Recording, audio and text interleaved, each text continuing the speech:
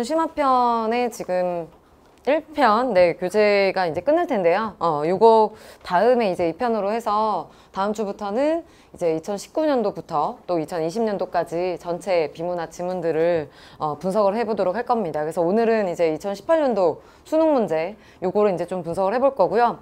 워낙 유명한 문제이기도 하고 그 다음에 이제 사실 보시면 되게 의아한 게 어, 이때 당시 등급컷이 생각보다 좀 높다 어, 이런 생각이 들 정도로 되게 어려웠는데 그죠? 어, 오버슈팅도 그렇고 뭐 부어도 그렇고 되게 이제 어려운 문제 중에 손에 꼽히는 지문임에도 불구하고 어 그래도 등급컷이 생각보다는 높았었어요. 네, 그래서 그 이유가 뭘까라고 좀 생각을 해보면 그 이전에는 사실 2017년도만 하더라도 이제 대비할 수 있었던 게 기출문제나 이런 것들이 어 거의 이제 2014년도, 2016년도 요 정도가 최근 문제였는데 AB형 문제라 하더라도 근데 이제 지문이 너무 짧았던 거지. 네, 지문이 너무 짧았고 좀 쉬웠었고 그 다음에 EBS 연계가 체감이 되게 많이 됐었어요. 내가 알기로 아마 영어 같은 경우는 그때 당시 나왔던 교재들의 특징이 그냥 이거를 한글로 애들이 다 외웠었어. 오죽하면 그냥 EBS 교재라 한글로 해석을 해주면 한글만 다좀 어, 이해할 수 있어도 거의 다 맞출 수 있을, 있을 정도? 뭐 그 정도로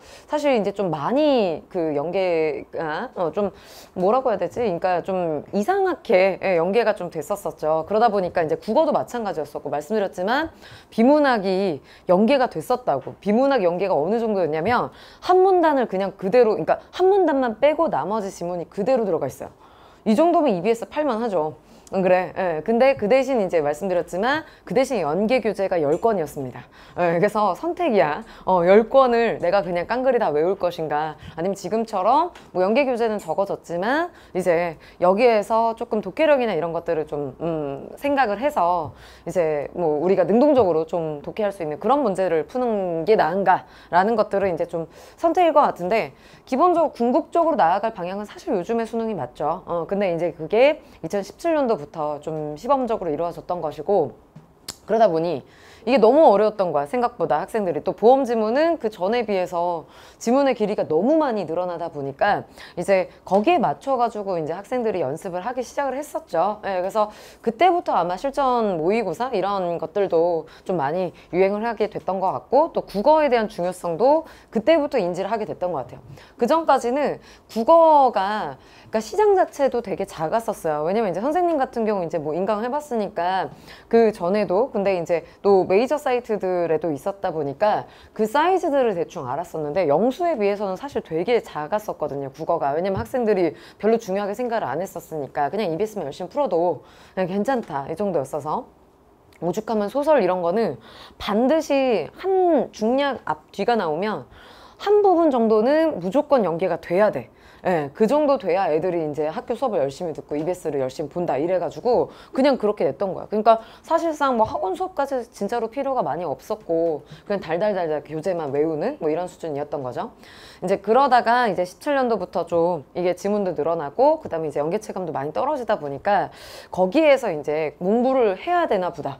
네, 국어를 이렇게 이제 좀 생각을 하고 어, 열심히 한 친구들이 늘어나기 시작을 해서 문제는 학생들이 생각보다 되게 빨리 적응한다는 거예요.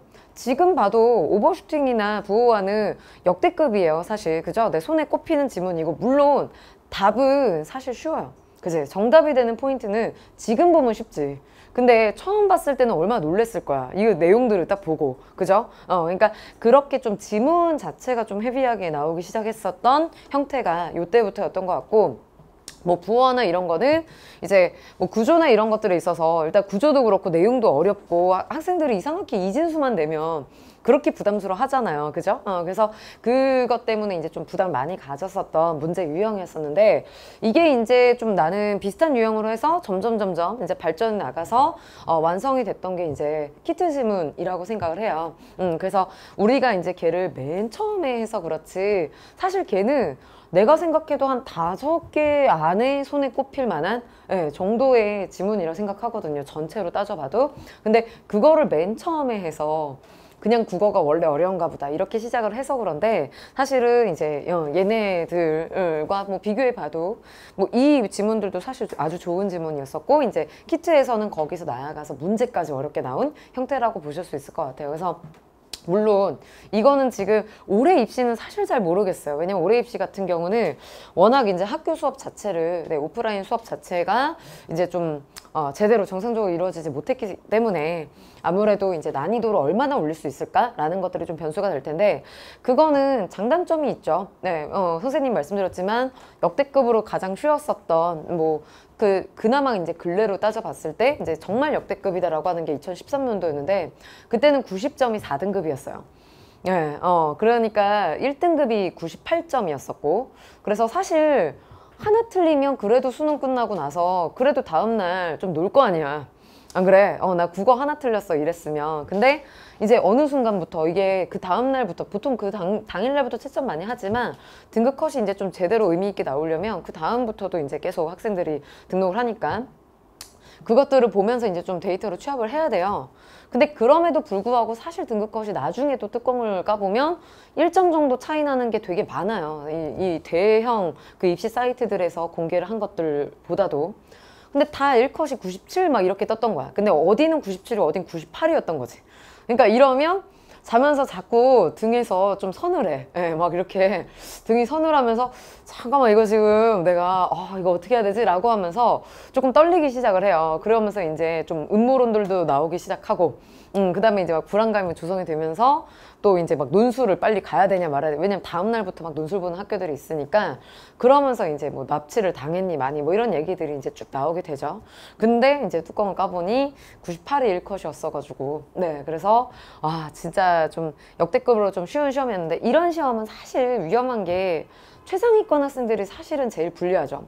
왜냐면 이제 평상시에 그냥 이제 1등급이 고정적으로 나왔어도 하나 정도는 실수할 수 있잖아. 그지? 어, 근데 그렇게 했을 때 바로 2등급으로 밀리니까. 근데 오히려 3, 4등급 친구들한테는 기회는 돼요.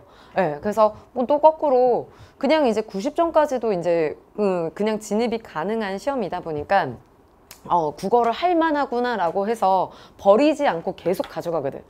이게 진짜로 선생님이 이제 뭐 항상 제주, 제자들을 너무 많이 보니까요. 근데 이 제자들을 항상 봐도 그렇고, 아니 뭐내 친구들도 그렇고, 이제 뭐 내 친구들도 이제 뭐 어, 의대가 아니라 이제 다 의사들이고 막 병원장을 한 해 만에 뭐 이러고 있는 친구들도 많고 이런데 그런 친구들 되게 똑똑하다고 하는 그런 친구들한테도 항상 물어보고 하면 보통 그런 게 되게 많아요. 예, 9월에 나와서 9월에 나와서 떨어졌다. 어, 이렇게 하는 친구들도 많고, 그 다음에 이제 10월, 그러니까 9월까지는 성적이 계속 안 오르다가, 그래도 그냥 계속, 어, 국어 열심히 해보자 이래서 마지막까지 버텼더니, 그랬더니 계속 3등급이었다가 1등급이 나왔다. 이렇게 하는 친구들도 정말 많으니까, 일단은, 네, 올해 제일 중요한 거는 지금 사실 체력과 멘탈이에요.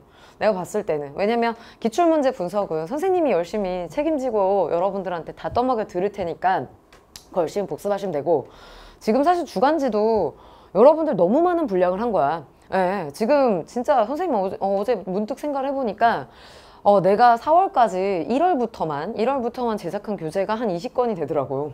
예, 어, 근데 주간지만 해도 250페이지고 여기 지금 허투루 들어간 페이지가 아무것도 없어요. 그지? 어, 근데 그냥 뭐 문제만 넣고 뜻 이렇게 정답만 넣고 이런 게 아니잖아요. 그래서 막 이것들 만들고 뭐 문법의 끝도 뭐 다뭐 개정하고 뭐 이제 지금 막 교재들 지금 다 어, 새로 나오고 있는 상황들인데 근데 이제 이 상황에서도 이제 나도 그래요. 나도 보면 항상 되게 파이팅 넘치게 막 열심히 하자 이러지만 선생님도 아, 체력이 이제 진짜 떨어진 걸 느껴. 아, 보면, 와, 내가 진짜 이제 30대인가 봐. 이 생각을 좀 할 때가, 어, 20대 때는 진짜 2시간 자도 멀쩡했거든. 그러니까 멀쩡하진 않아도 활동은 가능했어.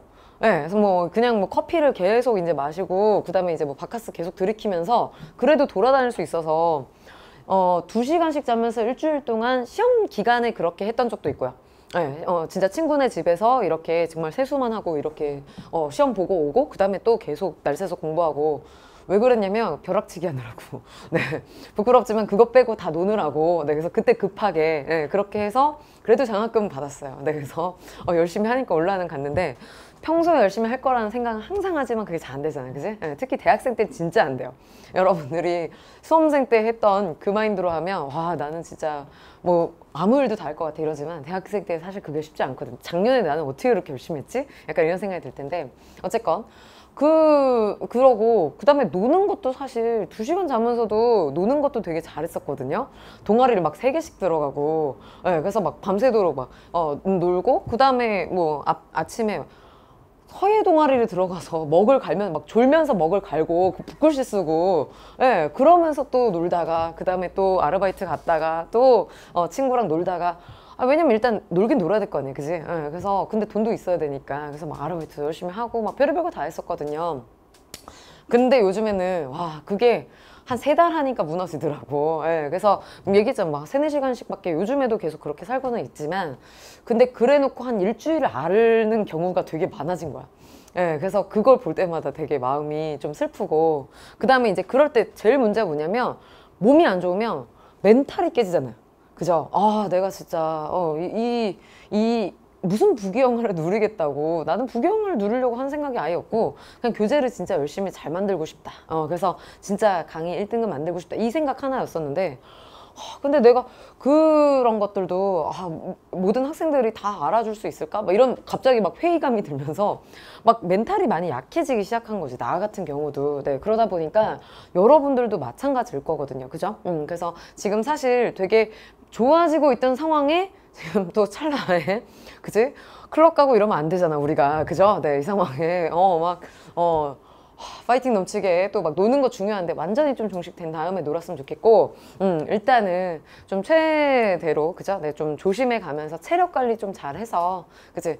왜냐면 이제는 좀 그런 생각 많이 해요. 예, 분명히 이제 뭐 그러니까 안 아프면 괜찮아. 안 아프면 내가 하루에 다섯 시간 자고 두 시간 자고 해서 계속 버틸 수 있다. 괜찮은데 그렇게 해서 일주일 날려버리면 멘탈 깨지고 그 다음에 이제 그 다음에 회복하는 게 되게 힘들어. 예, 그러니까 그냥 어, 뭐, 여섯 시간 일곱 시간 자도 되니까 그냥 있는 시간에 집중하면서 열심히 하자. 음, 그렇게 생각하면서 보는 게 좋을 것 같아요.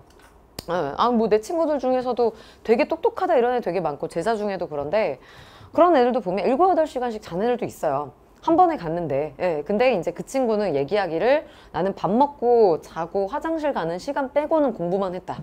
이러더라고요. 음, 그러니까 그렇게만 좀 관리를 하시면 차라리 한 일곱 여덟 시간 좀 푹 자고 걔는 안 졸아. 조는 게 제일 싫대. 예, 졸 바에는 그냥 침대에서 푹 자고 그 다음에 공부하는 게 낫지. 비효율적이잖아. 예, 공부를 한 것도 아니고 뭐 안한 것도 아니고 이렇게 되니까 괜히 몸만 피곤하고. 그래서 일단은 좀 그렇게 효율적으로 잘 살았으면 좋겠다라고 나한테도 좀 얘기하고 싶어요. 네. 어, 너무 나도 관리를 잘 못해서 자꾸 이제 막 몸이 좀 지치고 하니까. 근데 이제 일단은 우리가 이제 휴강 없이 뭐 계속 진행을 할 거고요. 그 다음에 이제 말씀 드렸지만 투트랙을 하는 게 아, 해보려고 했는데 5월에. 네, 근데 지금 자꾸 이런 이슈들이 좀 있으니까 아마 그래도 현장감 유지를 현장감 유지를 위해서 이제 왜냐면 6평 때는 또 시간 재고 문제 푸는 것도 되게 중요할 거라서 맨날 뭐 선생님 ASMR을 틀어놓고 아무리 시험장 ASMR, ASMR을 틀어놓고 한다 하더라도 그래도 또 집에서 하는 거랑 또 다르니까. 그래서 그거는 아마 6월에 시험 직전에 한 2주 정도를 좀 진행을 해볼까 하는 생각 중이에요. 음, 그거를 투트랙으로 진행을 할지 아니면 이제 정규 수업에서 모의고사 반으로 운영을 할지 그거는 조금만 더 고민을 해볼게요. 지금 상황들을 좀 추이를 봐서. 어 근데 그게 아니고 이제 뭐 좀 나와도 될 것 같다 하면 예, 주 2회로 해서 이제 수업 시간을 조금 더 늘려서 모의고사 타임들을 아예 좀 가져가지고 어, 여러분들이 이제 실전 연습도 하실 수 있도록 있도록 준비해 보도록 하겠습니다. 그래서 네 일단 어네뭐 18년도 수능 아주 중요한 문제고요. 이 이후에 이게 이제 판단하게 잡혀야 지금까지 있는 교재들은 그냥 씹어 먹을 정도로 이해를 하셔야 돼요. 우리 거미손 기본편부터 심화편, 얘네 1, 2, 얘네들도 이제 다 그래, 얘 이런 구조들이었었지? 라는 것들을 생각해 두시고 이제는 점차로 구조에서 좀 뛰어넘어서 이해하는 데 집중하셨으면 좋겠어요. 그래서 오늘도 그런 부분들을 많이 말씀드릴 테니까 일단은 예, 기억력 회복을 위해서 기출 많이 풀어보셨겠지만 한번 문제 다시 봐주시고 그 중요한 포인트 여러분들이 생각했던 포인트와 다 맞추시겠지만 생각했던 포인트와 또 선생님이 설명해주는 포인트가 어떻게 맞아 들어가는가 라는 것들을 좀 봐주면서 어, 강의를 들으셨으면 합니다. 그래서 91페이지부터 강의 풀어주시면 되고요. 그 다음에 이제 이후에 어, 시간 남으시면 뒤에 계속 풀어주시면 될 것 같아요. 네, 풀어주세요. 지문도 길고 그죠? 어, 내용도 어렵습니다. 어, 얘는 근데 이제 선생님이 계속 말씀드렸던 게 이해도 기준을 좀 잡아야 된다. 그죠? 어, 그리고 그걸 이제 저번 주에도 좀 많이 강조를 했었고, 그 다음에 이제 그 전에도 이제 뭐 계속 말씀을 드렸었는데, 어, 뭐, 콰인포퍼 지문에서도 마찬가지였었고요. 그죠? 음, 그 다음에 이제, 어, 그, 우리 저번 주 지문에서는 고전역학 이야기 했을 때, 그죠? 네, 그 거짓말쟁이 문장으로 해서, 네, 요 바로 앞에 어, 다뤘었던 지문이었었는데, 그러니까 제일 중요한 건 일단 나와 있는 정보라도 이해를 하자. 라는 것에 좀 초점 맞췄으면 좋겠어요. 이것을 내가 어 이걸 가지고 여러분들이 이 어떤 통화량에 대한 이해 전체를 다 해라가 아니에요. 예, 왜냐면 여기서만 해도 국내 통화량과 실질 통화량에 대한 구분이 되어 있고 그 다음에 실질 통화량 같은 경우는 장기랑 단기에서 정의 지금 아예 다른 양상으로 가고 있단 말이야 그지 고정 어 지금 장기에서는 어 고정으로 가지만 단기에서는 이게 증가하잖아요 그러면 이제 그게 왜요? 이게 뭐죠? 이렇게 하는 거는 질문하면 안 된다고. 이상한 포인트에 빠지지 말란 얘기야. 왜냐면 거기서 설명을 안 했잖아. 그지? 그냥 장기에선 이랬어. 단기에선 이렇게 된 거고 라고 했으면 우리는 아 이렇게 돼서 이렇게 됐구나 정도를 그러니까 얘네들의 관계를 정리하는 건 필요한데 이걸 가지고 그 이해를 없는 부분들을 넣어서 이해하려고 하시면 그게 배경 지식이 있는 친구는 괜찮아요. 그 배경 지식이 똑바로 되어 있는 친구는. 근데 그게 아니라면 굉장히 위험할 수 있죠. 나 혼자 이상한 방향으로 빠질 수가 있지. 어, 그러니까 나와 있는 정도로만 보세요. 그럼 충분히 정답 맞출 수 있고, 나오는 포인트는 정해져 있어요. 예, 네, 그리고 우리가 사실 선생님 얘기했지만, 거시에선 그냥 이게 다야. 근데 이거는 선생님 계속 말씀드리고 있지만, 완전 사후적이에요. 안 그래? 시험 다 끝나고 나서 그냥 천천히 분석해보자 라고 해도 이 정도까지도 잘 못해요. 예, 아, 이거는 몇 번씩 분석을 해서 그냥 진짜 구조가 완전히 잡힌 선생님 같은 사람들을 그냥 딱 보면 보이지만 누가 시험장에서 보자마자 아, 그래. 이렇게 해가지고 얘는 이런 관계들이야. 라고 해서 이렇게 적어보자. 그리고 이거 적은 게 무슨 의미가 있니? 안 그래? 장기, 단기만 나눠서 이게 무슨 의미가 있어요? 그러니까 이 정도는 지금 거시적으로 여러분들이 이 지문을 전체적으로 정리하실 수 있게, 그치? 진짜로 사후적으로 정리해 드리려고 보여드린 거고, 내용에서도 간단하게 큰 흐름을 보여드리려고 어, 그 다음에 이제 구체화하면서는 이제 얘네들을 확장해서 보여드리니까 이거를 우리가 반응하라는 게 아니라 그지? 내 시험장에서는 미시 분석대로 가야 된다라고 했어요. 근데 문제는 뭐냐면 이 질문을 지금 분석하고 보니까 그지? 네, 어, 몇 페이지야? 94페이지에 다 꼭세야. 화살표 너무 많고요. 그지? 왜? 비례 반비례가 너무 많이 나왔어. 그러면 알고는 있어요. 이걸 내겠죠. 낼 거니까 그리고 선생님 얘기했지만 낼 거니까 어 이렇게 화살표에서 표시를 해야 되고 직관적으로 여러분들이 보실 수 있게 근데 이것보다 더 중요한 게 우리가 이렇게 분석한 이유는 뭐야? 이 이후에도 이거 가지고 또 통화정책 지문 나왔었고, 그죠? 작년에도 또 경제 지문 나왔어요. 그죠? 미시건 전성 뭐 이런 게 해가지고 나왔잖아요. 계속해서 나오는 패턴이 뭐냐면 경제에서 요거지. 선생님이 이제 행동형이라고 해서 적어 들었는데, 하, 이거 저기 교재에도 항상 있고 이런데 근데 또 안 써놨다고 아 없구나 이러고 또 이러고 있더라고. 그래서 어 이제 특히 18년도 수능 이후부터는 좀 중요하죠 이런 부분들이. 그리고 이제 여러분들의 구조가 완전히 잡힌 상황에서는 얘네들을 이제 좀 생각해 가면서 반응을 해달라. 이건 뭐 항상 말로 했던 건데 말로 했던 것들 그냥 다시 적어 둔 겁니다. 네, 그래서 지금 보시면 경제 지문에서는 대응 조건들이 있을 때 얘를 이해하고 가야 된다. 예, 네, 그러니까 if인데 얘가 두 개씩 나오는 경우 있잖아. 그치? 네, 크게 어, 이자율이 상승하면 이랬어요. 그럼 이자율이 하락하면 이렇게 해서 물가 상승률이 어떻게 된다. 이런 조건들이 나오잖아. 얘도 지금 딱 봐봐. 장기 단기 나왔어. 저거를 그냥 놓고 가겠냐고. 사실 처음 봤을 때는 아 그냥 그런가 보다 라고 볼 수도 있는데 얘를 보다 보니까 얘네가 겹치잖아요. 지금 그죠? 대응이 되잖아. 그러면 이건 절대로 놓고 가지 않을 거야. 그지? 그리고 심지어는 이 지문에서 제일 중요한 정보가 될 수도 있어. 그죠? 그러니까 나는 사실 이런 지문, 이런 내용들은 그냥 시험지 위에 써놓는 걸 추천해요. 사실은. 예, 그리고 과학 지문에서도 뭐 계산식이나 이런 게 많지 않지만 사설을 또 보다 보면 우리가 연습할 때 이제 그런 걸 연습하는 거죠. 진짜 최악이 나올 수 있는 상황들, 그지? 근데 이제 그랬을 때 사설에서 좀 힘을 주는 경우들이 뭐가 있냐면 어, 계산식들을 끝도 없이 막 연결을 해요. 꼬리에 꼬리를 물게. 예, 그래서 나중에 이제 너 이래도 계산해 볼래? 뭐 이래서 이제 포기하게끔 만드는 거 이게 있는데 근데 이제 그것도 재정의들을 좀 잘 잡아가는 데는 되게 중요한 부분이 돼서 연습하실 때는 나는 계산식 써놓는 거 사실은 추천을 해요. 그거 뭐 얼마나 걸린다고. 이해하는 게 그냥 여기다가 화살표만 하고 이해하는 게 더 오래 걸려. 예 그러니까 차라리 그래 잠깐만 크게 한번 보자. 얘가 지금 적어도 아니면 얘네가 하나하나 대응이 안 된다면 이것까지 다 못 쓰겠다? 그러면 대응되는 지점이라도 어디서 지금 갈리고 있지? 어디까지 똑같다가? 라는 것 정도라도 봐 두셔야 돼요. 이거 안 내냐고요? 이거 시험에 냈잖아 결국에. 예, 환율 둘 다 상승해요.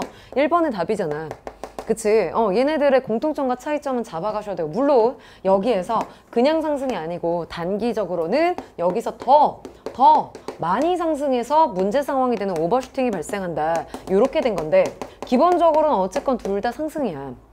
그치? 어, 그러면 요 관계들. 근데 중간에, 어, 그러면 국내 통화량도 똑같았었는데 뭐가 달라졌지? 해서 보니까 물가와 그 다음 실질 통화량 이 부분들의 차이가 있었다고 그지 그러면 얘네들도 내겠죠. 그지 예, 그러면 얘, 얘네들이 왜 그렇게 됐는지 이유가 나왔으면 그거대로 이해하시고 아니면 아 장기에서는 그래 얘가 이렇게 되던데 단기에선 이렇게 되던데 그래서 이렇게 되던데 를 이해하라는 거지.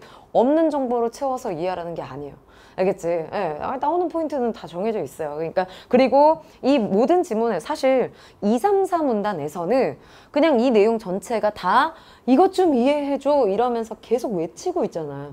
안 그래? 예, 그러니까 결과적으로 이 내용들 한 문장 한 문장들이 다 얘를 가르키고 있어. 물가 경직성 이런 얘기도 다 요거를 이야기하면서 언급이 되는 거니까. 그러니 일단 여러분들이 적어도 경제 지문에서는 항상 그랬어. 항상 무조건이니까 예, 대응 조건들이 나왔다.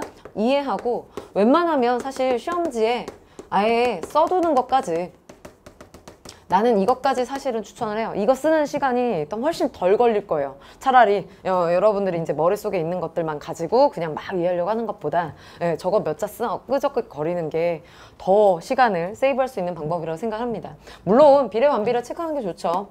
적다면 그지? 예, 적다면 그것만 체크해도 저 정도까지 안 해도 상관없는데 얘는 하다 보니까 계속 하고 있잖아. 그럼 나도 헷갈리거든요. 그죠? 예, 그러니까 정리해 두세요. 예, 그래서 선생님도 그렇게 해요. 그리고 그렇게 해서 시간을 재봐. 네가 확인해 보면 되잖아. 내가 진짜 그렇게 했을 때와 아니면 그냥 머리로만 이해했을 때 시간이 얼마나 차이가 있는가 라고 하면 비슷할 거야. 비슷할 거라면 정확도가 더 높은 방법을 써야죠. 그치? 어, 그러니까 일단 저렇게 보는 거를 나는 추천을 하고요. 그 다음에 긴 지문일 때 유형 분석이라고 했어요.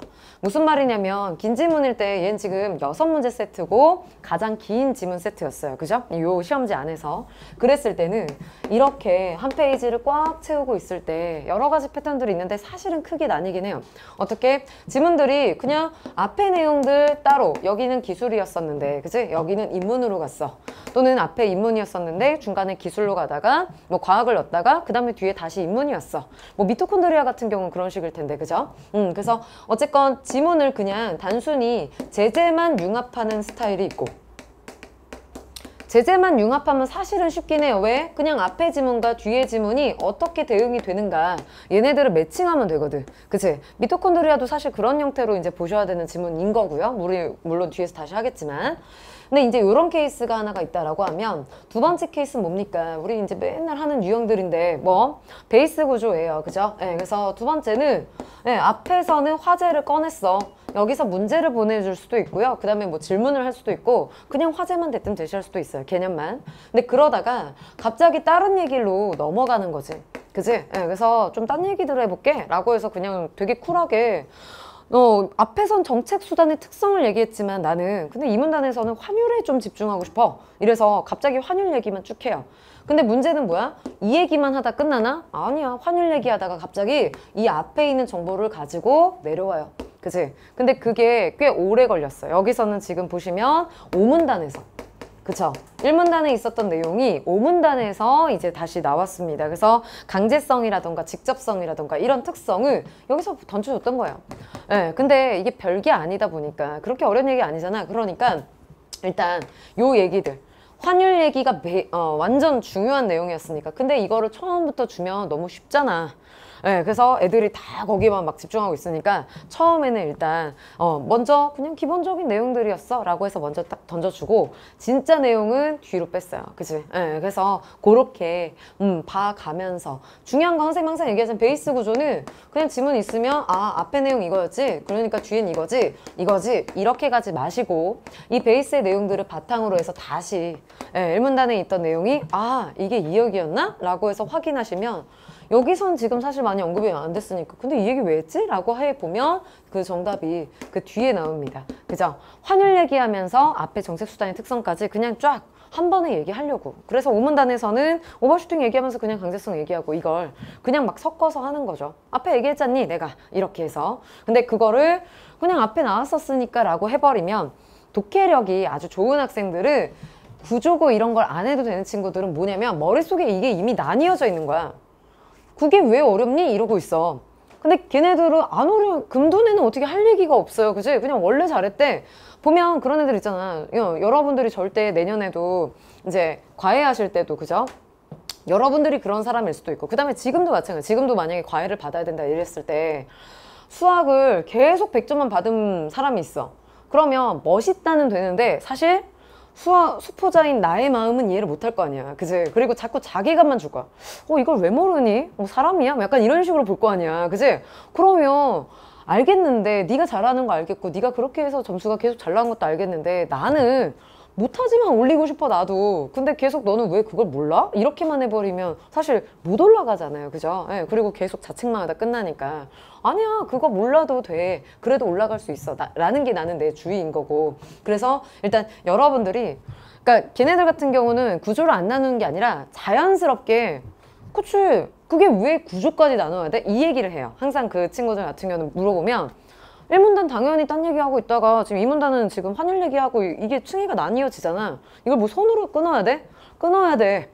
예, 예, 아니 끊어야 되는 친구들은 끊어야죠. 그렇게 해서 뭐가 됐든지 간에 1등급만 나오면 되는 거 아니야. 그지? 예, 그래서 일단 요 얘기가 근데 점차적으로는 여러분들도 그런 금둔의 친구들처럼 올라갔으면 좋겠다는 거지. 이미 그런 방법들을 하고 있는 친구들도 있을 거고 그래서 궁극적으로 왜냐면 그렇게 했을 때 속도가 붙으니까 그리고 좀 거시적으로 보게 돼요. 물론 이게 너무 속도가 붙으면 자꾸 미시를 틀려. 예, 1번 문제 이런 거 틀린단 말이야. 예, 그냥 워딩만 바꿔놓고 그러면 여기서 실수가 생기니까 일단 같이 가져가라고 제발. 어, 그래서 그래서 선생님 수업 같은 경우는 사실 스펙트럼이 되게 넓은 게 완전 고정 1등급도 와요. 왜냐면 그 친구들은 그냥 저는 계속 그냥 국어가 쉬웠었고 계속 1등급이었었는데 수능 때 왜 3이 나는지 이해를 못하겠어 아직도. 이러고 있어. 문학도 왜 이런지 모르겠어. 저 자꾸 저 독서 담았거든요. 오늘도 모은 친구가 그랬어. 오전에 모은 친구가 이제 걔 들어온 지 한 한 달밖에 안 됐거든요. 근데 우리가 이제 문학을 EBS 수업을 하면서 이제 기출 분석을 많이 안 했다 보니까 문학은 자기가 왜 틀리는지 모르겠대. 이래가지고 시험지 봤어. 독서는 담았는데 자기가. 그리고 원래 기존에 했던 것들을 이제 선생님 하는 거랑 이제 좀 접목을 시키니까 바로 이제 좀 안정적으로 했다고.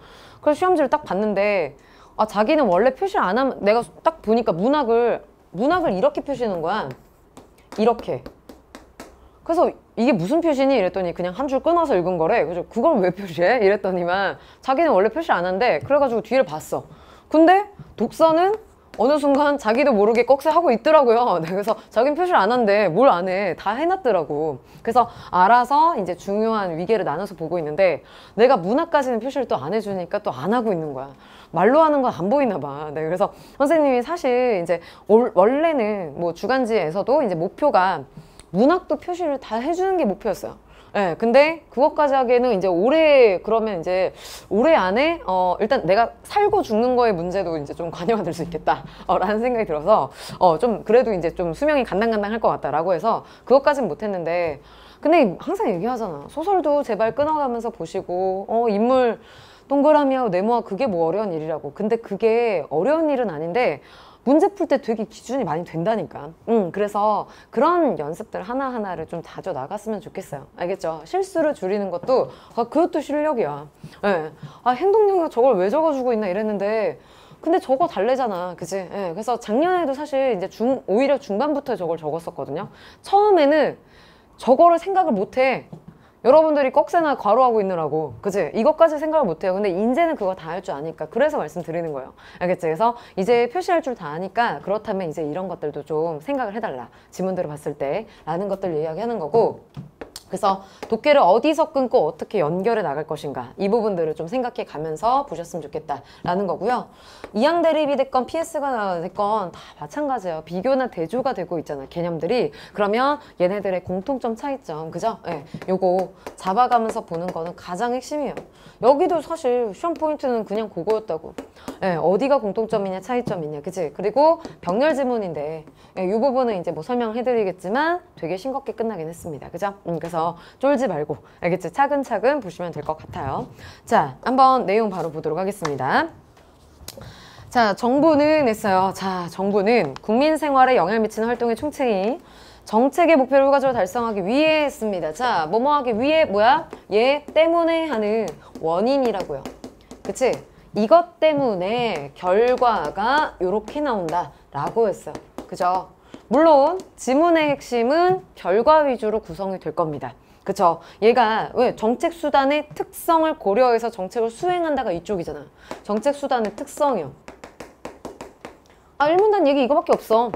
예, 결과적으로 이 얘기하는데 얘기했잖아. 선지로는 이거 되게 잘 내고요. 그치? 지문을 이해할 때는 그냥 이것만 보시면 돼요. 지문 요약해봐 하면 그냥 꺽쇠만 요약하면 되거든요.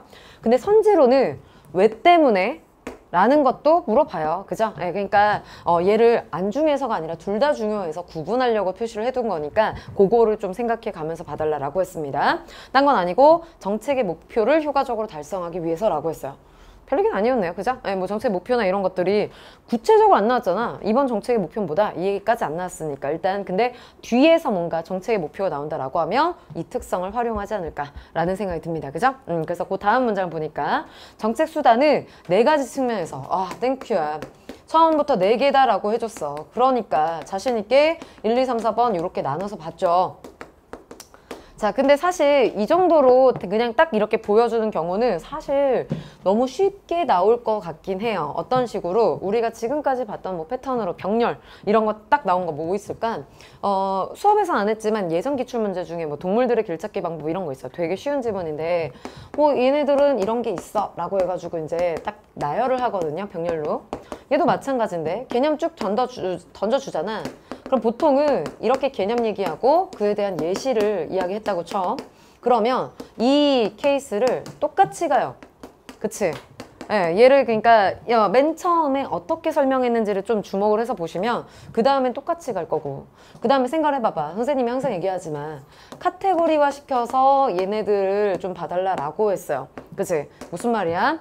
이 앞에서 지금 일단 첫 번째 뭐 있니? 강제성이라고 했어. 그죠? 네, 그러면 이 강제성에 대해서는 wording이 대문자 A로 일단 네모는 해놨어요. 그죠? 그냥 딱 나오니까. 근데 여기에 대해서 이거의 개념을 설명하는 얘기를 보니까 쭉 읽어봐.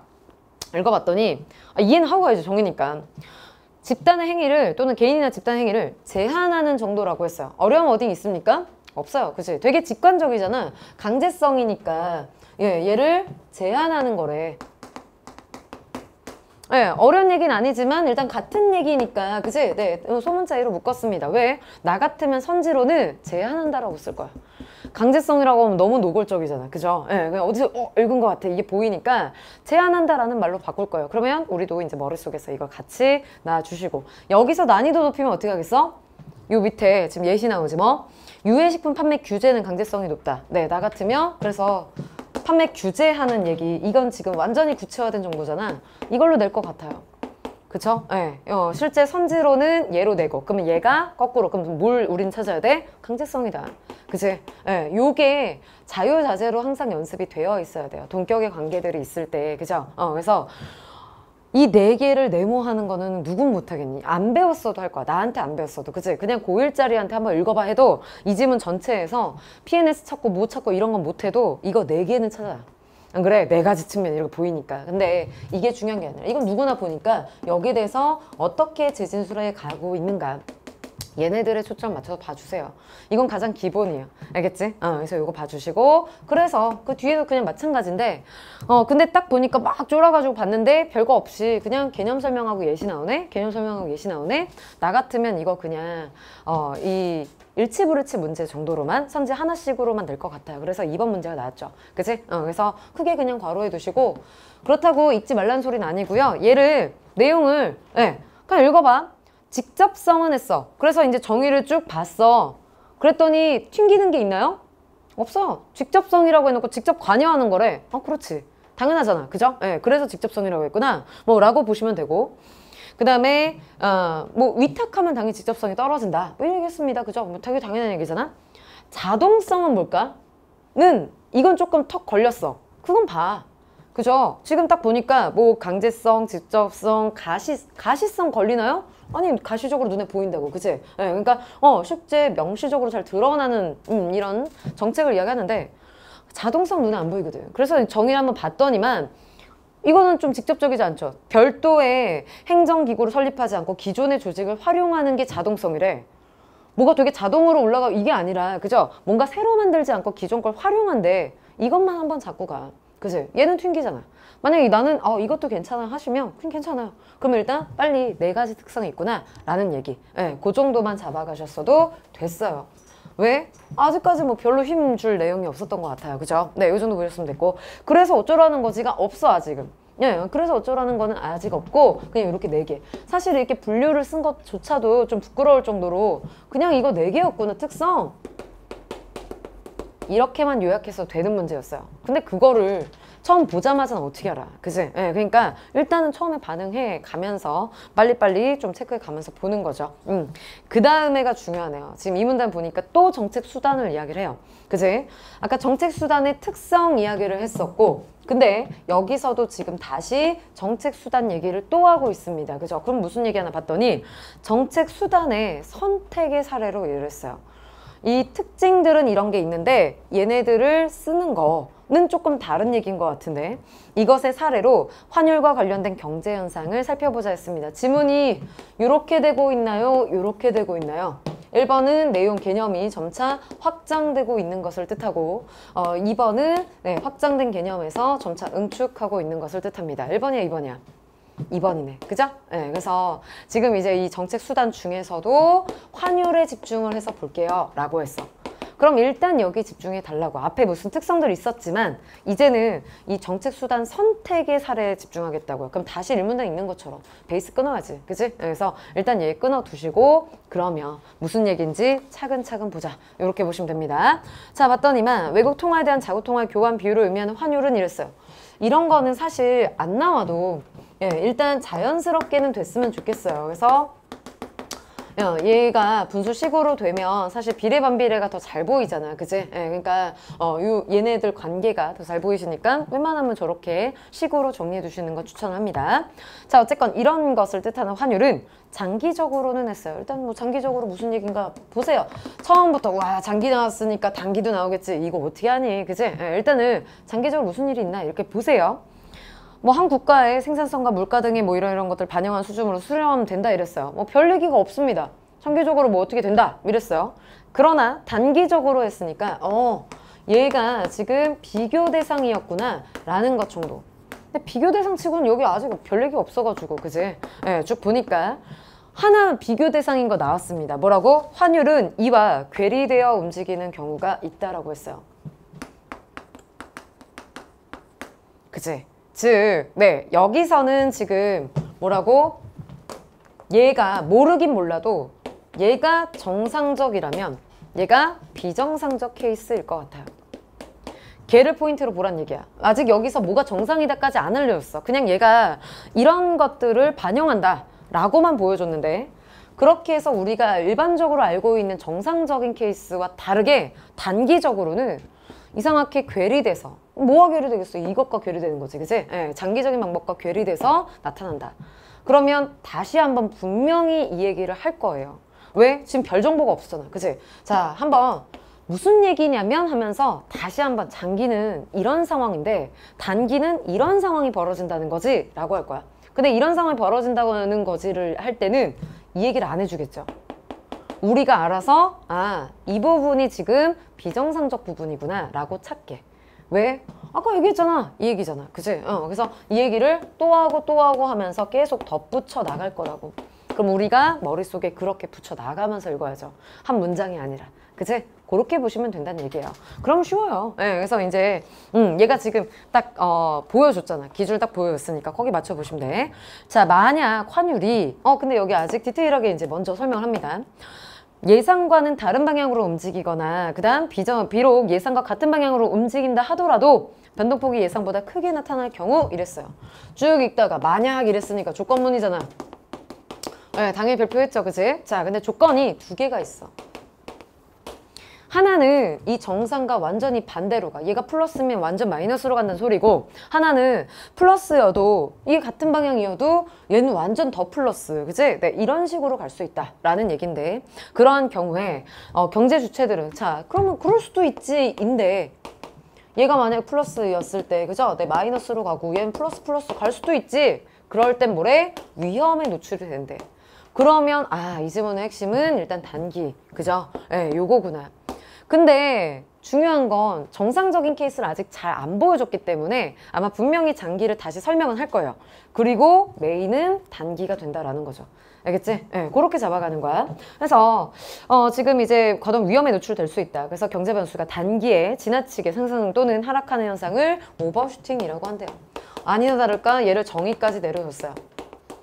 얼마나 중요하니 그지? 네, 그래서 적어도 아 여기서의 핵심은 일단 오버슈팅이겠구나 라는 것 잡아가셔야 되고 자 그러면서 이런 오버슈팅은 물가 경직성 또는 금융시장 변동에 따른 불안 심리 등에 의해 촉발되는 것으로 알려져 있다 이랬어 자 얘가 결과죠 그지? 얘는 뭐 때문에 일어난다고? 예 원인 나오겠습니까? 당연히 나오지 네, 1번 2번 정리해 두셔야죠 그죠? 네, 그래서 첫 번째는 물가의 경직성 때문이다 라고 했고 왜냐면 저 원인이 그냥 중요한 게 아니라 얘가 문제 상황의 원인이잖아요. 그지? 네. 이 문제 상황의 원인이기 때문에 얘 중요하다고요. 그지? 네. 근데 봤더니만 일단 물가 경직성을 하나 이야기하고 있고 네. 그 다음에 두 번째는 어, 이 금융시장의 변동에 따른 불안 심리라고 했습니다. 네. 사실 어, 경제는 그런 것 같아요. 나는 이제 잘 모르니까, 그지? 근데 엄마도 그렇고, 아빠도 그렇고, 그지? 어른들이, 네, 뭐 투자를 하실 때도, 그죠? 하다못해 집을 하나 사더라도, 그지? 그냥 나는 이 집이 너무 예뻐도 좋지만 요즘에는 사실 그런 식으로 보지 않고 학군이라든가 그죠? 여러분들이 이제 학교를 어디를 배정받을 거다 뭐 이게 이제 사실은 어 가장 최근에는 이제 그런 이슈였었을 거고 그 다음에 이제 대학을 가고 나면 이제 그게 필요하지 않잖아요. 네가 대학 어디로 어떻게 가든 알아서 가 이제. 나는 이제 다 키웠어. 이렇게 얘기하실 거고 그러면 이제 좀 중요한 게 그러면 이제 뭐 직장과 가깝던지 그죠? 네, 우선순위들이 여러 가지 있을 텐데 뭐 직장과 가깝다든가 아니면 나는 투자가 목적이다. 네, 그래서 어 지금 어, 어떻게 지금 변동하고 있는데 어, 나는 부동산으로 수익을 만들고 싶다. 뭐 이런 것들이 있을 거고 근데 이제 부동산을 만약에 수익의 목적으로 잡는다라고 하면 그러면 여러분들 같으면 이렇게 역세권에다가 있는 아파트를 사는 게 낫겠어요? 아니면 막 농촌 옆에 있는 아파트를 사는 게 낫겠어요? 딱 봐도 오를 것 같은 거는 역세권이잖아요. 그지? 그래서 여기가 훨씬 비쌀 거고. 그러니까 가격이 높게 형성이 돼 있죠. 근데 그 높게 형성돼 있는 것보다 더 오를 것인가? 뭐 이런 것들을 생각을 하잖아요. 계속. 즉 막상 투자라는 것은 사실 심리와도 되게 많이 연결이 돼 있어서 주식 같은 경우도 마찬가지고요. 네, 주식도 맨날 외국인 투자자들이 어떻고 막 이런 얘기 맨날 나오잖아요. 지금은 사실 안 들릴 거야. 근데 내년에 어, 아마 주식 이런 통장 하나 만들어 가지고 증권 음, 그 계좌를 하나 개설을 해서 거기다가 이제 여러분들 용돈을 한번 넣기 시작하면 그 다음부터는 다 들려. 예, 코스피 지수가 어쩌고 뭐 코스닥이 어쩌고 이런 것도 다 들릴 거야. 예, 아니 나는 안 했으니까 나도 잘 안 들리는데 뭐 부동산이라고 좀 쉽게 이야기를 하자면 그것도 하다못해 여러분들도 그런 거 볼 수 있잖아요. 안 그래? 그냥 여기도 요즘에는 참 애들이 그렇더라고. 보면 막 빌딩 보면 와 빌딩 높다 뭐 이게 아니라 아, 저 건물주 누굴까 뭐 이런 거 생각하고 예, 이건 얼마일까? 막 이렇게, 그지? 네, 괜히 내 것이, 내 것이 될 수 있을 것처럼, 그지? 네, 이런 생각을 하면서, 그래, 쟤는 몇백억이래. 얘는 몇백억이래. 아, 얘는 몇십억밖에 안 한대. 뭐 이러면서 예, 얘기를 하잖아요. 그러니까 그런 것들에 있어서 투자에 어, 이런 게 중요한 게 사실 심리적인 얘기를 빼놓을 수가 없어요. 그래서 요게 같이 간다는 거죠. 여기도 지금 사실 보면 통화량과 연결되는 거, 시중 금리와 연결되는 것도 기대 수익률이나 이런 것들이 같이 가거든요. 그러니까 그 생각들을 좀 같이 가져가시면 좋을 것 같습니다. 물론 첫 번째 나온 것부터 봐야 되겠지. 물가 경직성. 네, 어, 분명히 저걸 얘 때문에 라고 원인을 제시해 줘 놓고 버리지 않을 거야. 네, 그러면 일단 어떻게 받아가는지 한번 보도록 하겠습니다. 자, 3문단에 바로 나오네요. 그죠? 물가 경직성에 따른 환율의 오버슈팅을 이해하기 위해서. 자, 여러 가지 요인들이 있지만 일단 1번에 의한 오버슈팅을 생각을 해보겠습니다. 라는 거지. 얘가 원인인 것을, 얘가 결과고요. 네, 그거를 먼저 분석을 해보겠습니다. 라고 먼저 제시를 하고 있어요. 자, 통화를 금융자산의 일종으로 보고 경제 충격에 대해서 장기와 단기 환율이 어떻게 조정되는지 알아보자라고 했습니다. 경제 충격은 좋은 게 아니야. 그렇잖아. 그냥 경제를 그냥 완전 파탄내버리는 건데, 그죠? 예, 충격을 주는 것 자체는. 그러니까 조정이 반드시 필요한데, 이게 어떻게 되는지. 보세요. 봤더니만, 어, 물가나 환율은 충격 흡수는 조정 과정을 거치게 된다라는 것 자체는 둘 다 공통점인데, 단기에는 했어요. 물가는. 네. 그래서 얘를 아예 따로 내봤습니다. 왜냐면 다 다르더라고. 그지? 네, 그래서 물가와 환율에서 또 다르니까, 단기와 장기에서. 네, 분석해서 보세요. 자 일단 단기에는 이런 것들로 인해서 경직적이지만 자 그러니까 독해할 때 뭐라고 얘 때문에 이것이다 라고 하면 일단 기억은 이건 먼저 기억해 그래서 경직이다 그치? 근데 어떤 것이 경직에 영향을 주냐 할 때 처음엔 한번 봐봐 장기 계약이나 공공요금 규제 이런 것들이 경직하게 한데 근데 아 이런 것들을 왜 하지? 왜 멈추지 말고 중요한 건 뭐야? 일단 이거 이해 안 됐어도 얘가 이해가 되면 돼 지문 이걸로 풀릴 수 있어. 알겠지? 그러니까 일단 이건 가져가자고요. 알겠어? 어, 지금 일단 단기에는 경직적이래요. 오케이. 근데 장기에는 신축적으로 조정이 된답니다. 네, 그래서 물가 같은 경우는 경직도 있지만 신축적으로 네, 이렇게 장기로는 움직이고요. 반면 환율은 단기에서도 신축적인 조정이 가능하다 이랬어요. 지금 차이점이 보이네요. 그죠? 네. 여기는 지금 공통점이잖아. 장기는 지금 둘 다이 예, 신축적으로 어쨌건 다 조정이 가능한데 차이점은 물가 같은 경우에서는 단기적으로는 경직돼 있었다. 근데 환율은 단기적으로도 신축이 되더라 라는 얘기가 있다, 있다는 거야. 근데 이게 뭘 의미하는지 우리는 아직 모르니까 얘가 잡아줄 거라는 거죠. 보니까 물가와 환율의 이런 조정 속도 차이는 오버슈팅과 상관이 있대. 아, 그럼 오버슈팅은 누구와 상관이 있겠어? 당연히 단기와 상관이 있지. 속도 차이가 있는 애가 단기였으니까. 그죠? 예, 네, 그래서 오케이. 오버슈팅은 지금 단기에 초점을 맞춰야 되는구나. 라고 잡아가시면 되고. 자, 그 다음. 물가 환율이 모두 신축적으로 조정되는 장기에서 어? 이게 중요하다고 해놓고 이거 왜 깔아둘까? 아, 이건 나중에 보여주려고요. 예. 네. 얘가 비정상이야. 이거 지금 문제 상황이야. 오버슈팅은. 그지? 그러니까 뭐 정상적 케이스 먼저 보여줄게. 이게 뭐냐면 이라고 지금 깔아두는 거야. 그죠? 네, 그래서 이제부터는 좀 하나하나 잡아가 보는 거지. 왜? 처음부터 너무 밑밥을 많이, 많이 깔았잖아요. 그죠? 장기, 단기 되게 중요해. 되게 중요해. 이러면서 계속 보였으니까. 그럼 이게 뭔데? 라고 분석해 가면서 보도록 하겠습니다. 자, 일단 구매를 평가서 이야기하는데 장기 환율은 자국 물가 수준을 외국 물가 수준으로 낮은 비율을 했어요. 네, 이것도 그냥 일단 그냥 숨 쉬듯이 하세요. 그지? 네, 그래서 식은 일단 이렇게 네, 바로 정리를 해 두시고 그 다음 이것을 가지고 균형 환율로 본다라고 했습니다. 가령 국내 통화량이 증가하였어요. 자 여기서는 아 그냥 가령이구나 예시구나 과로는 했지 근데 그냥 넘어갈 수가 없는 예시야. 왜? 아 우리 지금 계속 봤던 거잖아요. 잡고 잡고 잡고 또 잡아서 이제서야 이렇게까지 구체화를 해줬는데 얘를 어 그래 너 예시 들었니? 그냥 넘어가자 어떻게 그래 그지? 지금 이제부터는 하나하나 잡아가자고 보니까 국내 통화량이 증가했대 네 일단 써 네, 아 몰라 왜, 왜, 때문에 증가했는데 모르겠고 일단 그렇대 그지? 네, 그냥 화살표부터 해서 쭉 정리해보는 거야 유지될 경우에 그럼 물가도 높아진대요 어 그렇구나 물가도 높아지는구나 통화량이 많이 어, 늘어나면 장기 환율도 상승한다 라고 했습니다. 어 그러면 환율도 상승하는 거구나 까지 됐어요. 그지? 됐고 자 근데 이때 통화량을 물가로 나는 실질 통화량은 변하지 않는다 라고 했습니다. 자 실질 통화량 같은 경우는 통화량을 물가로 나는 값이라고 했고 알겠고 이건 써놓고요. 그지? 근데 얘가 고정된다 정도만 기억을 해두자고요. 근데 나는 사실 안 헤어지잖아. 그지? 예, 써두자고. 예, 저 정도 써두자고. 지금 도대체 몇 번을 보여준 거야? 자 장기와 단기가 이런 게 있어. 그리고 얘 되게 주, 얘는 정상인데 얘가 비정상이다? 이 얘기를 도대체 몇 번을 했냐고요. 그래 놓고 나온 예시입니다. 이걸 어떻게 놓고 가요? 그지? 예, 그러니까 위에 정리해놔. 위에 정리해 두시고 아 이랬구나 그럼 이제는 처음에는 기억이 안 났어도 상관이 없어요. 근데 두 번째 비교할 때는 오케이. 아, 이제 여기가 공통점이고 차이점이야. 이젠 정리돼야 돼. 그래서 아, 다른 애들은 여기서 헤매고 있겠지. 나는 이거 잡아가고 있어. 이렇게 자신감을 가지시면 됩니다.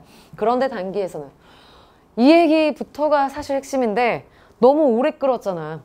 근데 이제는 복습하실 때 이거 오래 끌겠어요? 아니잖아. 그냥 쫙 보면 쫙 보이잖아요. 그치? 그게 됐으면 좋겠다고. 그죠? 모르는 지문도 계속 그렇게 반응했으면 좋겠다고. 알겠지? 자, 3문단 가시면 단기에는 물가의 경직성으로 인해서 때문에 나왔어. 원인. 그죠? 계속 뭐라고? 우리 지금 물가 경직성 요 얘기 했다니까요. 네, 단기. 물가 경직 이야기 했어요. 그죠? 자, 얘 때문에 무슨 문제가 벌어지는가 봤더니만 어, 구매력 평가설과 달라진 이유가 바로 여기 있다라고 했습니다. 그러면서 오버슈팅 이야기를 했는데 몇 번 얘기해 도대체 어, 이제는 밑밥 깔지 말고 대, 제발 얘기 좀 해주세요. 봤더니만 이제 나와요. 국내 통화량이 증가해서 그죠? 네, 똑같이 시작을 했어요. 유지될 경우에 물가가 경직적이어서 이 부분부터 달라졌어요. 이건 우리 처음부터 보여줬다고 그지? 이때부터 얘 물가는 다른 단기적으로는 경직이 돼 있다. 그럼 어디 영향 끼치냐? 어, 해서 보시면 여기서 이것이어서 물가가 경직적 이어서 실질 통화량이 증가한대요. 네. 얘 때문에 이 결과가 도출이 됐어요. 네. 그쵸? 얘 때문에 얘가 결과잖아. 그치? 그러면 실질 통화량이 중요하다라는 거고, 그죠? 네, 그 다음에 이제 봐. 근데 정의도 안 알려줬어. 국내 통화량과 그럼 실질 통화량 뭐가 달라요? 몰라. 몰라도 돼. 그지? 구체적으로 잘. 근데 단 이때 실질 통화량은 이런 것들을 가리킨다면 그때 보셔야 되지만 알았다 이러고 일단 보라고요. 그죠? 네, 그 다음 여기서 이에 따라서 시장 금리는 하락한다라고 했어요. 어 그렇구나. 그지? 네, 또 다시 잡아가시고 국가 간 자본 이동이 자유로운 상황에서 시장 금리 하락은 아, 여기서 얘기해 줬잖아. 이게 기대 수익률을 떨어뜨린 이유는 이것 때문이야. 그냥 국가 간 자본 이동이 자유로워서. 물론 그러니까 우리가 사실 너 생각해보면 그런 거야. 금리가 떨어졌어. 그러면 이자 많이 안 붙잖아요. 그지? 굳이 여기다 투자할 필요가 없잖아. 그죠? 거기다가 기대 수익률이, 그러면 당연히 기대 수익률이 낮아지죠. 그지? 근데 수익률이 낮은데 뭐하러 여기다가 투자를 해요? 그러니까 이게 지금 자국의 통화 가치 자체도 떨어지게 되는 거고, 그러면서 환율이 상승하게 되는 거다. 이 얘기를 하는 건데, 없잖아. 없잖아. 그지? 그럼 여기 나와 있는 정도. 그러니까 그냥 두, 국가 간의 자본 이동이 자유로워서 그렇대. 그럼 아, 자유로워서 그렇구나. 정도만. 그 이상을 안 물어본다니까. 알겠어? 어, 그 정도 보시고. 그 다음에 통화량의 증가로 인해서, 네, 이, 어, 아, 그러면서 이제 자국의 통화 가치는 하락하고, 그 다음에 환율이 상승하게 된다라고 했어요. 그렇구나, 너도 환율 상승했네? 라고 했어. 근데 통화량의 증가로 인한 효과는 물가가 신축적인 경우만 어디 이야기하는 거야? 장기로 가야 돼, 그지? 자, 그래서 이 경우에 예상되는 환율 상승에다가 금리 하락에 따른 추가적인, 그죠? 네, 지금 자금의 해외 유출이 유발되는 추가적인 환율 상승이 더해진 것. 즉, 뭐래? 장기의 상황과 똑같은 것이 아니라 환율 상승이라는 워딩은 여기에서 더 추가가 됐다라는 걸 의미한다라는 것을 이야기한대요. 이게 오버슈팅이래요. 그지? 이걸 잡아갔으면 되는 거였어. 그죠? 네. 그래서 이러한 추가적 상승이 환율의 오버슈팅인데 계속 얘기한 거야. 그냥 상승이 아니다, 얘들아. 추가적 상승이다. 그러니까 보기에서도 냈고, 그죠? 네, 계속 확인하라고 이렇게 제시를 했던 거였습니다. 그래서 얘는 물가 경직성이 클수록 더 크게 나타나긴 한답니다. 그래서 아, 여기에 영향을 많이 받는구나. 그래서 경직성이 클수록 이것도 더 많은 영향을 받게 된다라는 얘기를 했어요. 물론 시간이 경과함에 따라 왜? 시간이 경과하면 단기야 장기야? 장기니까 그지? 장기니까 이제 원래 수준으로 또 돌아오게 된다라는 얘기도 쭉 하고 있었습니다. 그지? 네, 그게 이해가 됐으면 일단 된 거예요. 그죠? 네, 그래서 아 이런 얘기를 했던 거였구나. 그지? 네, 근데 문제는 그러면 아 문제점만 파악을 했잖아요. 그지? 해결 방법도 줘야 될 거 아니에요. 그죠? 그래서 오문단에서는 그지? 이제 내용들이 끝나고 이 앞에 있는 내용과 정리를 하기 시작합니다. 그죠? 음. 단기의 환율이 기초경제 역광과 괴리가 돼서 과도하게 급등락하거나 장기가 이탈하는 경우 이 문제는 얘가 문제니까 이것을 어, 그 해결하는 그죠? 네, 이 물가 경직성을 해결하기 위한 수단으로 그지? 네, S가 이제 제시가 되고요. 자, 그래서 S에서는 강제성을 먼저 이야기를 했습니다. 그러면 아, 지금 강제성이구나가 아니라 일문단 내용을 그래서 깔아뒀었구나 라는 게 보이네요. 그지? 네, 그래서 아까 얘기했지만 직접적으로 그죠? 네, 집단의 행위를 제한하는 그지? 네, 아, 직접이 아니라 그 정부가 개인이나 집단 행위를 음, 제한하는 것 요 얘기를 했었어요. 그죠? 네, 해서 강제성이 낮은 것은 해서 또 구체화시켜서 또 예시 보여줬어. 안 내겠니? 내줘. 예, 근데 예시구나 정도. 예, 그래서 강제성과 연결을 지어서 어, 해소할 수 있다라는 얘기를 쭉 하고 있고요. 그 다음에 어, 한편 오버슈팅에 따른 부정적 파급 효과를 완화하기 위해서 네, 이제 또 두 번째 대책도 있는데 그죠? 어. 환율 변동으로 가격이 급등한 수입 필수 품목에 대한 세금을 조절을 해준다. 예, 그래서 가격이 막 이렇게 왜냐면 이제 수출이나 수입하는 기업에서는 그냥 똑같은 그냥 1톤을 납품하거나 또 이제 수입을 하거나 이게 이제 그냥 기존에 똑같은 물량이었을 텐데 금액 자체가 너무 많이 달라지게 될 거니까 이것에 대해서 이제 뭐 세금이나 이런 것들을 좀 조절을 해줘서 이제 위축이 되는 것 음, 내수 경제가 위축되는 것들을 방지하려고 뭐 이렇게 대안을 세운다 라는 얘기를 했어요.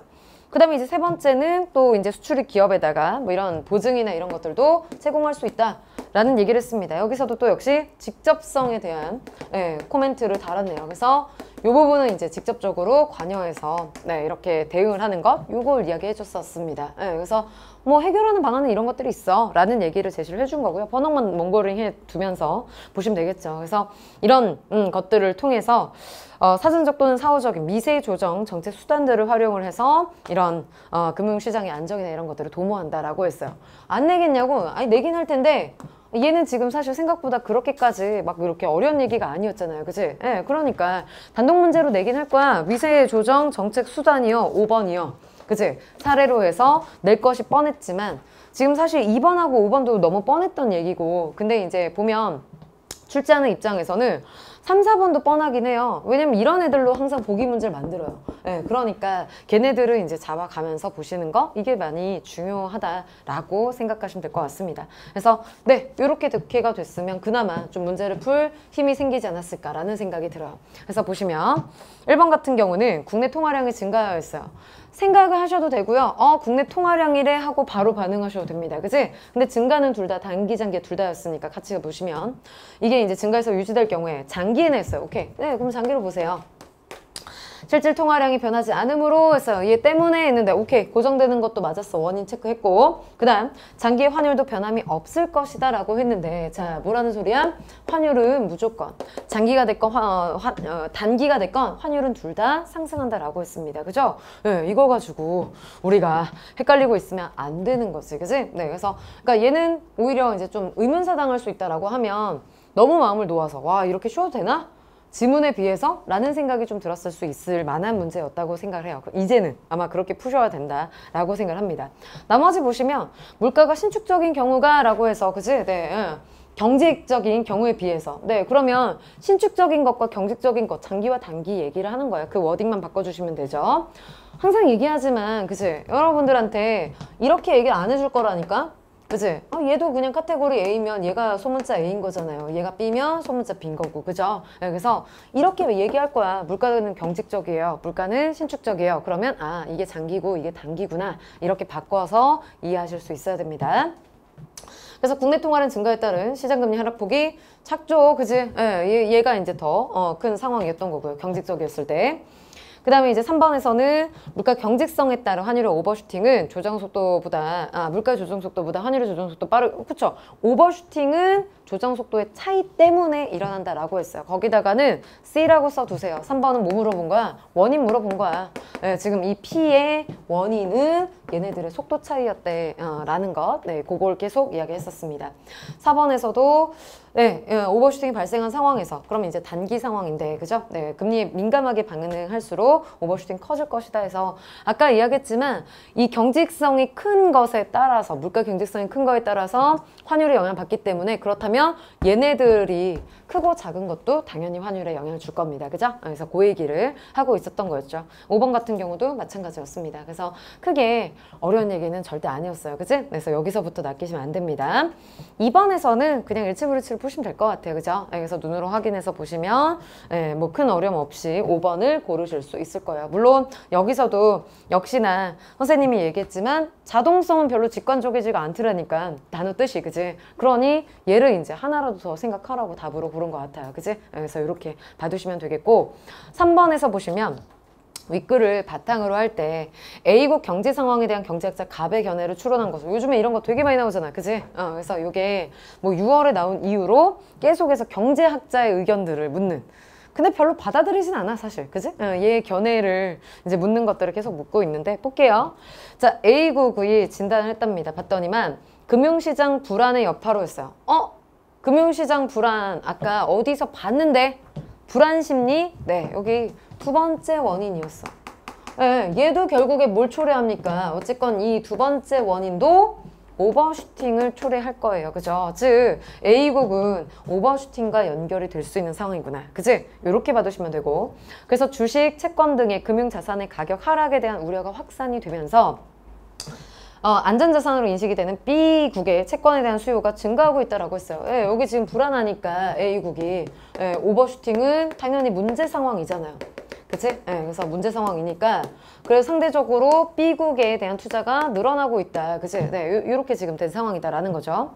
자, 그랬을 때 이로 인해 외환 시장에서는 A국에 투자되고 있던 단기성 외국인 자금이 B국으로 유출되면서 오히려 그러니까 이쪽으로 이제 가면서 오히려 이 상황이 더 안 좋아지고 있다라고 했습니다. 환율이 급등이면 한 번이 아니라 여러 번 지금 상승하고 있다라는 것을 뜻하죠. 그지? 음, 그래서 아, 오버슈팅 확실히 맞구나. 그죠? 예, 요 얘기. 악화되고 있는 상황이 제시가 됐어요.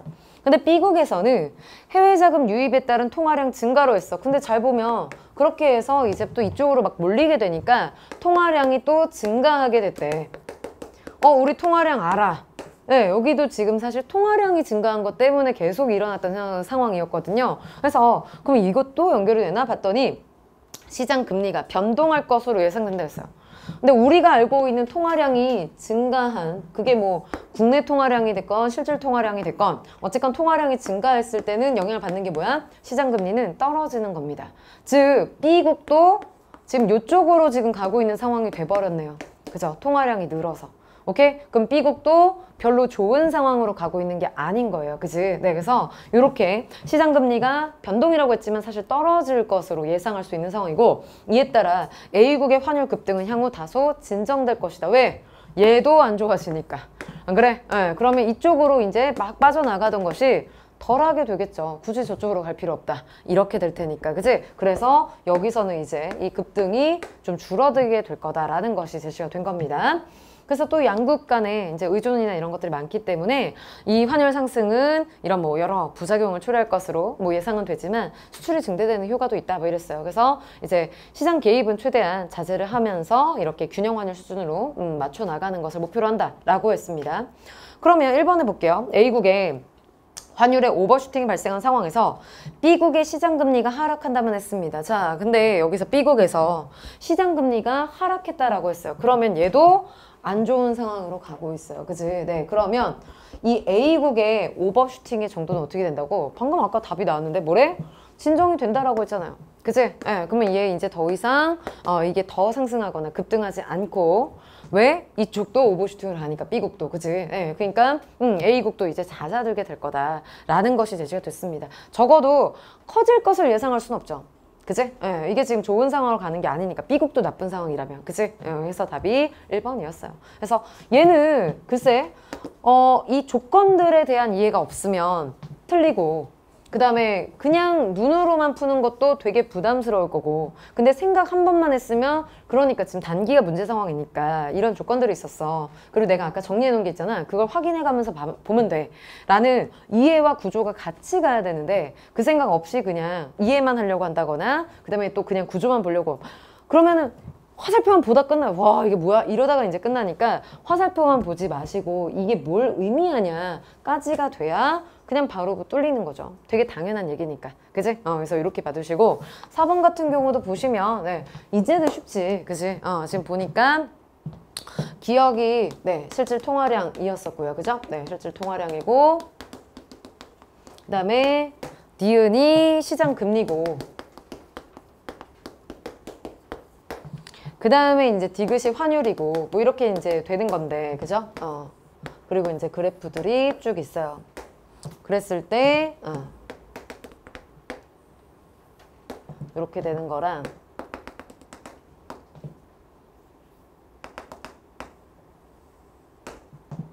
그지? 네.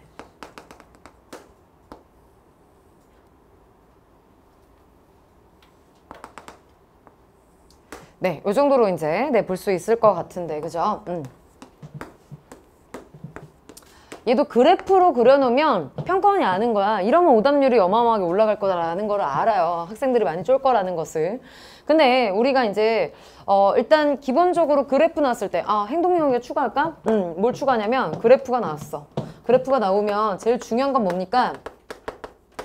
얘네들의 가로와 세로 축이 무엇을 의미하냐예요. 이것만 정확하게 보셔도 사실 기울기에 많이 집중하는 경우들이 있는데 사실 겨, 기울기보다는 그냥 답이 나오는 음, 그 근거의 판단은 얘가 뭐냐? 예, 그게 실제로 더 중요한 경우가 되게 많아요. 음, 그래서 여러분들이 이제 아주 예전 문제 중에서는 이제 선생님이 뭐 고난도 문제나 그 다음에 예전 문제들을 좀 보여드리면서 또 이제 앞에 것들도 이제 수업을 진행할 때는 어, 뒤에서 이제 좀 음, 말씀드릴 수 있겠지만 예전에 귀의 소리라는 지문이 있어. 그 지문 같은 경우는 지문을 그대로 읽으면 애들이 그래놓고 나온 그래프를 그대로 읽으면 다 틀려요. 보기를 그냥 아무 생각 없이 읽으면 이거 되게 중요한 문제야. 중요한 문제라는 거 안 알려주면 실수를 엄청 많이 해요. 왜냐면 본문에서 설명한 순서와 보기에서 얘기한 것이 조금 한번 바꿨거든요. 네, 그래서 이 내용들이 그냥 귀의 소리가 뭐 빨리 연출된다 이런 얘기를 하는데 근데 이제 가로축이 시간이 아닌데 그냥 애들이 제일 빨리 나오는 거 그거 가지고 소리 이렇게 판별을 해버린 거야. 그러니까 얘가 일단 무엇을 가리키고 있는가. 이것부터 먼저 체크를 정확하게 하시고 그 다음에 읽어야 돼요. 예, 나와 있는 정보는 하나도 빠짐없이 그래프는 그림보다 항상 글자가 훨씬 더 중요해요. 예, 그래서 그림은 사실 페이크는 아니지만 어, 그림에 낚이는 친구들이 정말 많거든요. 그래서 그림만 보는 애들이. 그래서 나와 있는 정보들 하나하나 다 보셔야 됩니다. 그래서 지금 여기서는 일단 뭐 시간으로 예, 그냥 나와 있잖아요 그래서 이제 좀 평이하게 볼 수 있었는데 국내 통화량 얘기했어. 그지? 국내 통화량이 T 시점에서 증가해서 유지된 경우였습니다. 오케이. 여기 T가 국내 통화량이 증가한 시점이다라고 했어요. 네, 그러면 지금 요 얘기가 또 역시 그대로 간다란 얘기네요. 그리고 사실 우리가 여기서 이미 봤으니까 이 워딩들이 있는 곳을 확인은 해 주셨어야 됐지. 실질 통화량 하나 됐고 시장 금리 하나 됐고요. 그 다음에 환율, 환율. 그죠? 네, 이렇게는 됐어야 되는 상황이었습니다. 자, 그러면 기억에서 디귿의 시간에 따른 변화를 순서 없이 나열한 것이다 라고 했어요. 근데 지금 보면 일단은 딱 봐도 그래프에서 A 같은 경우는 거꾸로 내려왔단 말이야. 그치? 그럼 떨어졌다가 회복되는 것을 이야기했어요. 얘네들은 다 회복은 돼요. 왜 장기적으로는 얘네가 뭐 지금 신축적으로 움직인다고 했으니까 단기적으로 이제 어 문제 상황들이 이제 발생한 것을 이야기하는 건데 문제는 지금 여기서 떨어지고 있는 애는 이거 체크했던 애 중에서 예, 반비례로 가는 애는 시장금리밖에 없네요. 그지? 네, 그러니까 당연히 이쪽이 연결이 될 수밖에 없을 겁니다. 그죠? 네, 이렇게 보시면 되고. 그러면 이때 여기는 일단 한참 보는 거야. 뭐가 다르니? 라고 해서 봤어. 봤더니만 뭐가 달라? 네.